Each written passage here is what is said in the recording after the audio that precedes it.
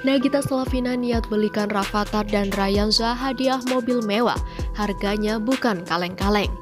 Dikutip dari wowkeren.com, masih kecil, Nagita Slavina ternyata sudah berniat untuk membelikan kedua putranya, Rafathar dan Rayanza hadiah mobil mewah untuk kado ulang tahun nantinya. Nagita baru-baru ini mendatangi showroom mobil.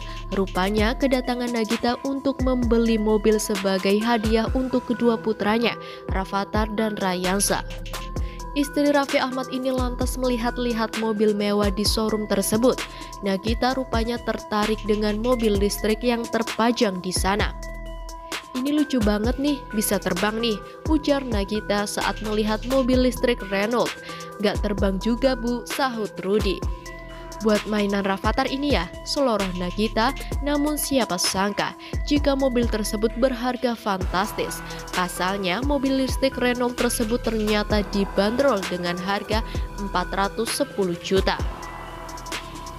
Ini mau beli buat apa ceritanya? Tanya Rudi Salim. Ini hadiah ulang tahun untuk Rafathar dan Rayanza, sahut Nagita. Eh tapi gimana ya kalau misalnya beli mobil tapi duitnya bukan dari duit gue? Bisa nggak sih? Duitnya Raffi aja Seloroh Nagita yang kemudian tertawa. Enggak nggak boleh gitu ya. Kalau beli kado harus ini ya duit sendiri timpalnya. Padahal seperti diketahui, ulang tahun Rafathar dan Rayansa masih sangat lama.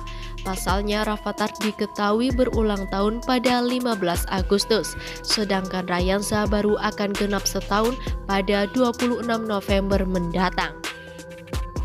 Sementara itu, Neta ramai mengomentari cara Nagita saat menanyakan harga mobil. Pasalnya, wanita yang dijuluki Sultan ini tampak enteng saat menanyakan harga dari mobil-mobil mewah tersebut.